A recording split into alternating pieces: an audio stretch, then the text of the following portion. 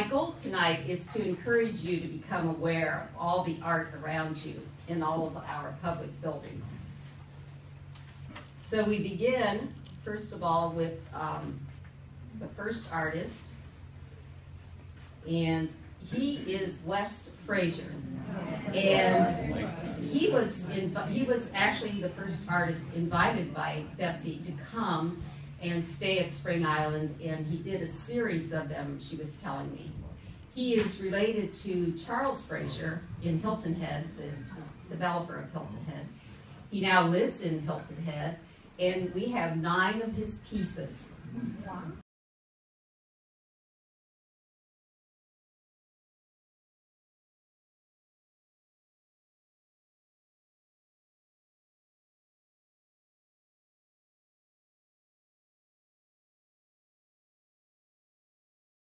She said this is titled incorrectly. He calls it the, the um, Teddy Ruins Al Alley.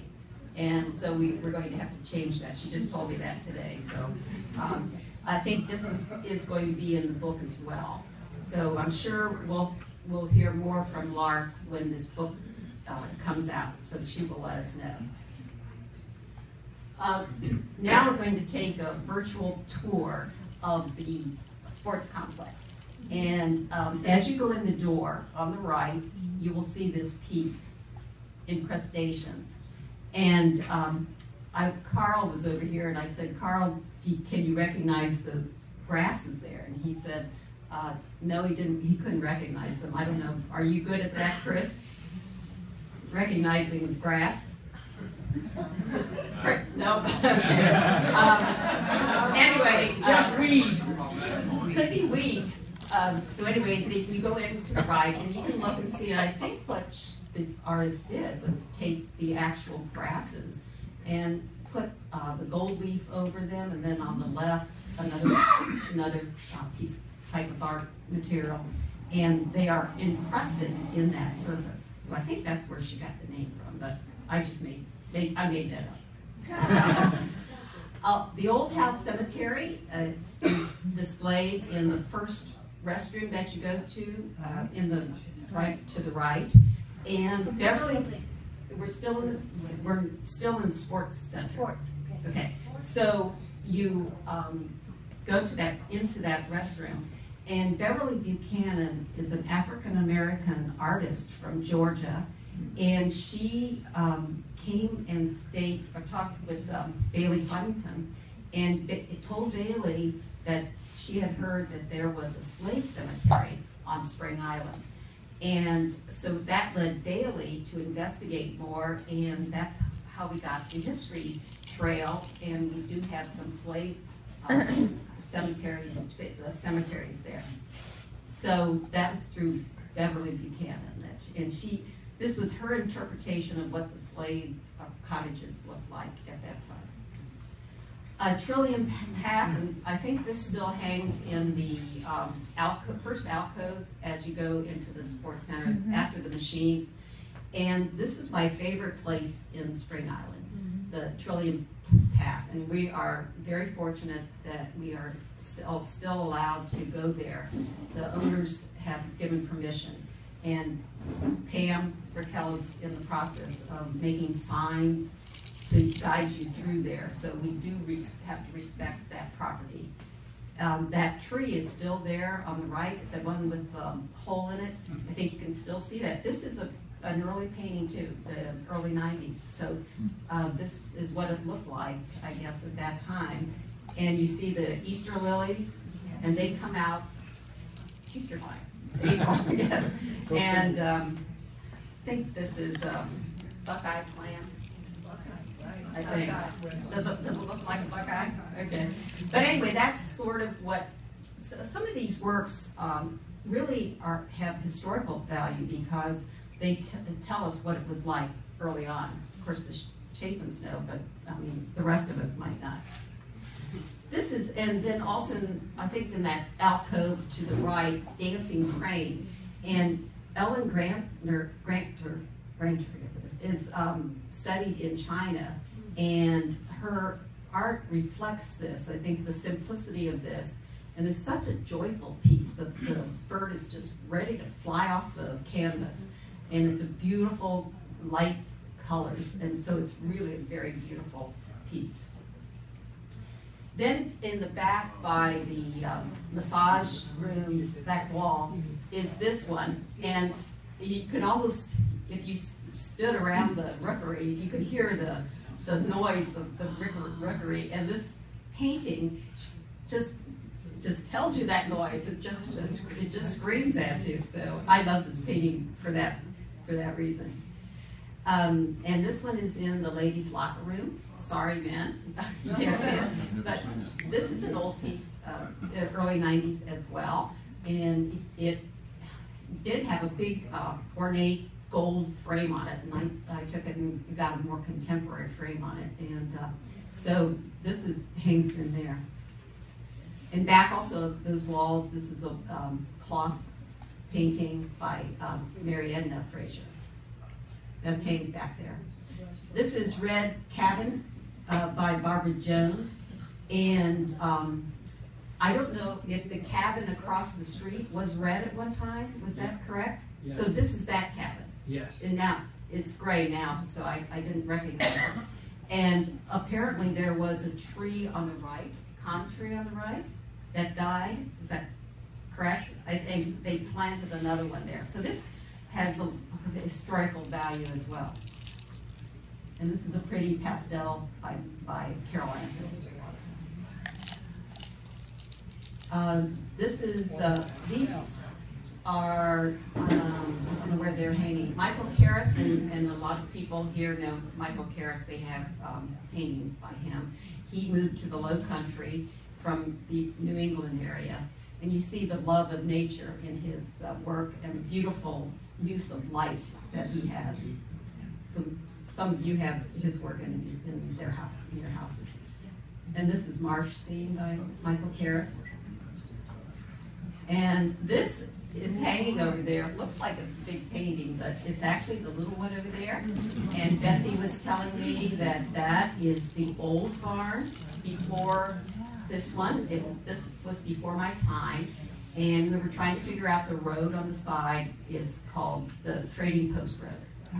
And so that's where the old barn was located. So this is, uh, tells us a little about the history as well. Does Michael still live on Callawassie? I believe he does. Yes, he does. A- And he moved here after being a visiting artist here. Oh, so that's how, okay, we got him down here. Good. Uh, now we are in the uh, house. Oh. So, uh, this is, it's a huge piece and, I mean, it's, comes out, it's bigger than, it's, uh, it's a beautiful, uh, ceramics by Cynthia Bringle. And then along the wall, you'll see this, uh, by Linda Fantuzzo. And the interesting thing here, it faces the, the scene that she painted. So if you look out the window to the right, you will see that scene. So that's kind of interesting there. And another one by her, and it's um, very pretty, the, the colors that she uses. Bobby, Uh-huh. do you know what medium, I can't always tell what medium they are. Does it Those say are what both medium? oil. That's oil. Water, whether they're- Oil, that's an oil. Okay, That is an oil. Yeah, they both are oils there. Yeah, you can, you can almost see those, the brush, brush strokes there. This is Mary Whyte, and she lives in Charleston, and she moved to the or in Charleston area from, um, I believe she, she is from Ohio. And, um, she got interested in the Gullah women, and so she uh, some of you have gone to the ex- exhibition down in Savannah, I think it was, of the occupations of the Gullah, of the dying occupations, and uh, she's she's really a very famous artist now. And this is a watercolor. And this one is also by Mary Whyte, and this is of the corner. And Carl was here and he said, "Oh, that rose bush is still there, but we cut it down to low." He said, he said, I didn't realize it could be, a we could have a climbing rose bush there. So he's talking about putting a trellis there. And I don't know if that's the corner one. Do you know if that's, that's the, the corner one? Because today I was driving in and I thought, I bet that's the rose bush. So it's on the corner as you turn in. And this is Bailey's Rose by Janet Fish, and she's a nationally ranked artist as well. And um, I, so I was curious about the name, so I called Bailey. I said, Bailey, is, is that your rose? And she said, Oh, yes. She said Janet Fish stayed at her house when she was visiting. and she was looking out my window and um, saw this Cherokee rose.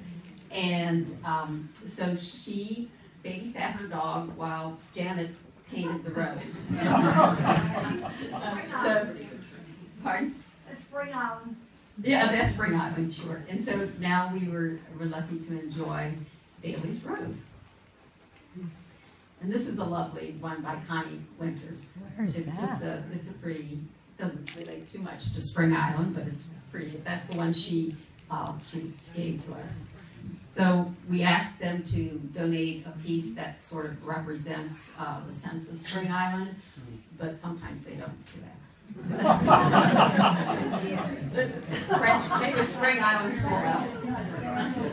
Uh, Spring Glow, Spring Island by Sally Hughes Smith. It's a pretty one. This uh, is in the golf house as well. Uh, some of these are in the ladies' locker room. I think that's that one was in the ladies' lo- locker room.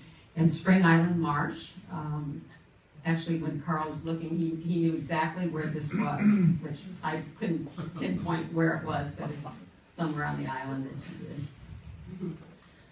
And this is uh, an interesting one, Patricia Miranda with the gold leaf. And this one hangs, um, as you look at the opening where the chefs are, the first opening, this one hangs on the wall of that. And, and if you look out directly opposite that, you'll see the two trees. It, it mirrors where it's located.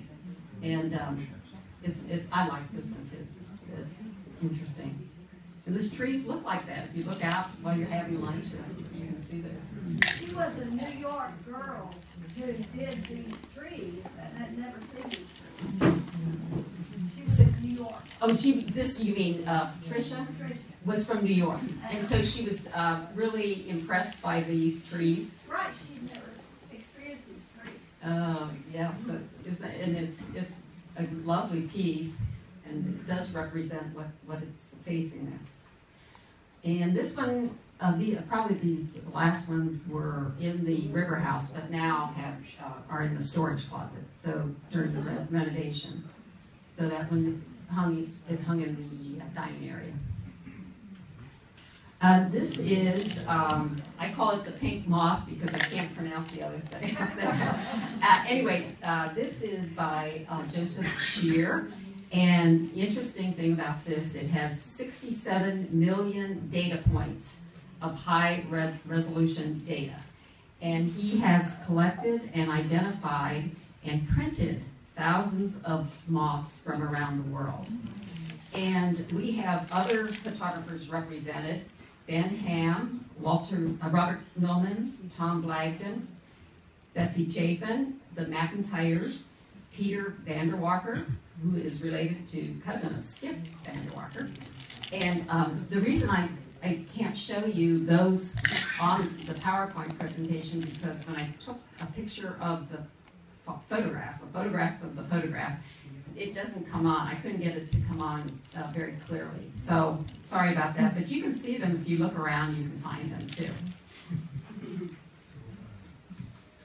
Uh, th- these are interesting from the historical historical point as well. Um, Bob Grenko is from Walterboro, and he did these fairly early, and so these repre- represent some of the early um, buildings, and this one probably is not here anymore. What is the, what's the medium on these? These are pen and ink drawing. I don't know, Betsy, do you remember where that was? You know, I, I honestly don't. I wish I could say I did. No, I didn't. It's gone. It's gone now. But anyway, and there's, uh, but we have more of them. But, uh, Katie Lee is a really popular, Where is that right now? Uh, that painting? Do you know? uh, no, um, I can't, Kathy, do you remember? I Was just that, don't remember seeing any of these things walking around. I mean, I'm astounded at what we have. I, I know, that's why, you're right, that's the purpose tonight, is to help you become more aware of, um, all the, all the artwork we have around us. Where, Bobby, where is that piece? I'm thinking it is, uh, Kathy Cooney is now in charge. It's in the nature center. Okay, I'm, thank you. I'm not sure. And actually, what you can do is go online and the whole uh, catalog of all the, the, um, co- the whole collection is online. If you go to the Spring Island website, under culture, uh, under the trust program, and then under the trust, you can hit the art collection. And then down at the bottom gives, it'll give you the link to the whole collection. You can find out about the artist, you can find out where they are placed, and so you can do, you can have that too. And if, if you can't get to the link, sometimes my computer acts funny and, and it, it won't go to the link, uh, tell Pam Burkell. She'll- No, she did, she actually does wanna know if the computer is, if it's not working correctly. It couldn't be the operator here. Uh, Brian Rutenberg. Brian uh, was born in South Carolina and but currently lives in New York City. And he is a famous abstract landscape painter. And he uses a, a big palette knife and a big uh, palette, and he uses uh, lots of lots of oils. So these are oils. And um, I was researching a little bit and trying to find um, some interesting thing to tell you. Um, one thing, we just, I'm just met, your name? Jackie from um, Pawleys Island. Well, uh, he, this Brian uh, grew up from in Pawleys Island, uh, near Pawleys Island in Charleston, where the river and the lake merge with the ocean. So anyway, that's where he's from. Um, so he uses a lot of these uh, memories from his childhood in his paintings. But what was interesting uh, reading about him, he did a he was a Fulbright scholar in Ireland for seven months, and in in that time he he uh, his his art was influenced by the Celtic culture of the six 600 to 400 BC. And I'll read this to you so you can figure it out. Captivated by the arabesques of pure abstraction, so powerful in the artwork of this period, Brian began using similar merging forms in his work.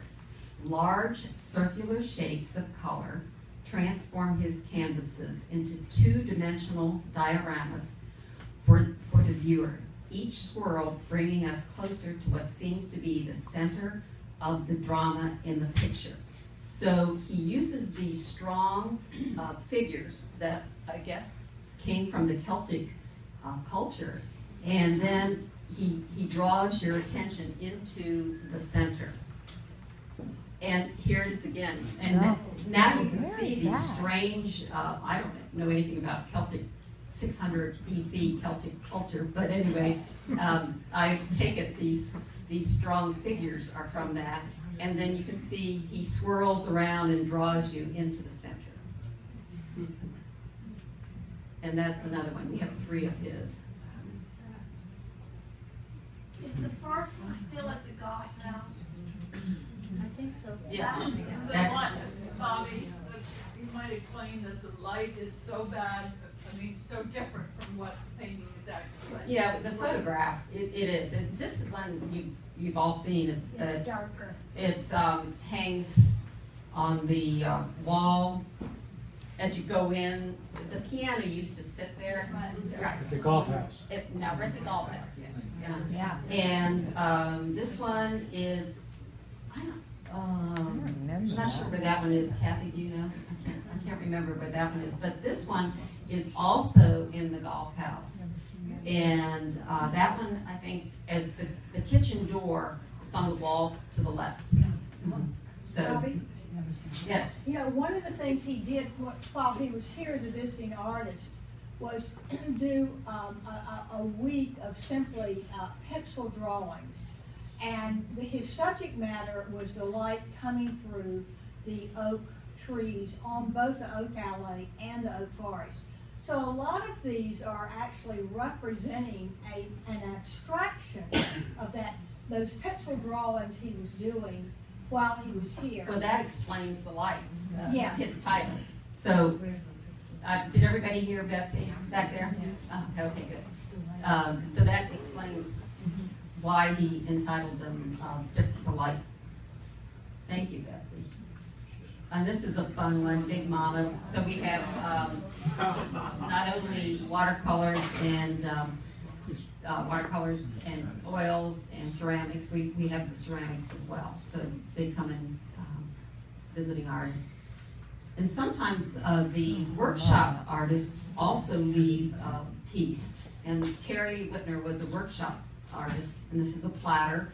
And so she lives in Charleston, and uh, I know uh, s- uh, many, or some of you have taken the workshop that she gave. And this is um, Michael Wisner, and this is his signature design, and I took a work- workshop with him, and even I could do this design, so, um, but anyway, this is his signature. And um, I was out in the west, and I went into a gallery, an art gallery, and I saw a piece like that, and I s- asked the lady, I said, is that a Michael Wisner? And she said, oh, yes, he comes by and drops some things off for sale, so I guess he lives out there, or has a house out there.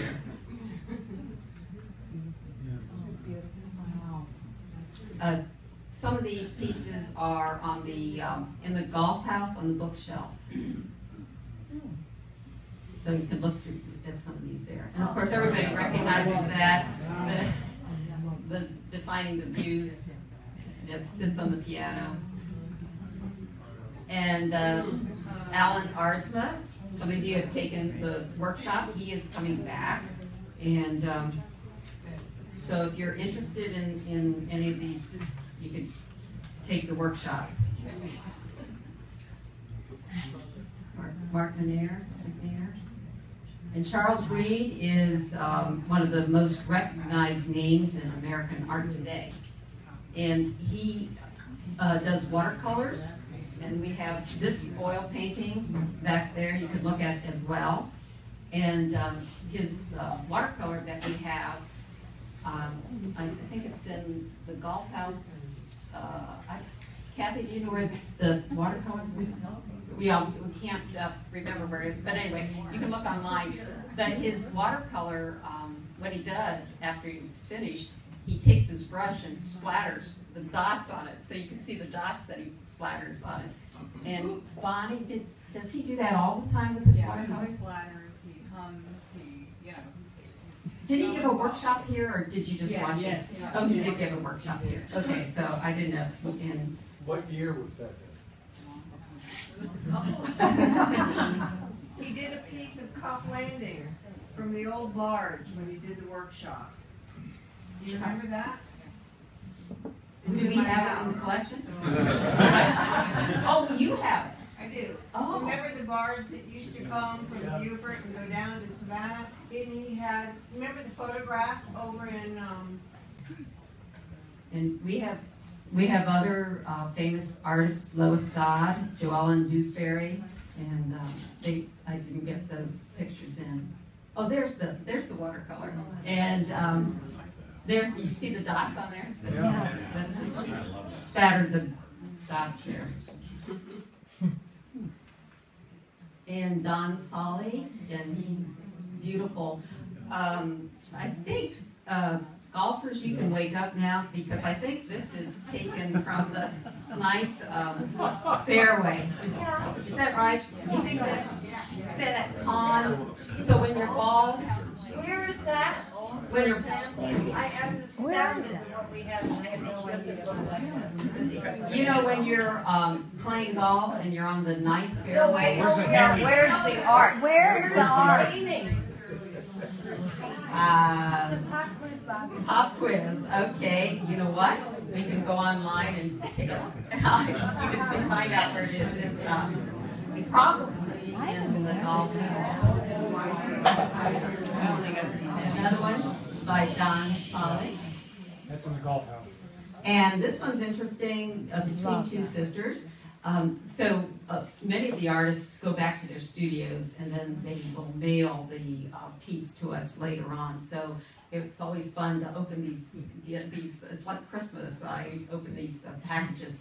And so I was curious about Between Two Sisters. I thought that was kind of a strange name. So I called Debbie and asked her, uh, what, why, what that title means. She said, well, uh, I was out on a property and it was between Big Sister Pond and Little, Little Sister Pond. And, and she said, I saw this um, view. And I said, well, you were on my property. And she said, um, so I commissioned her to do a painting for our house. And so um, uh, she's, I have a, one similar to this.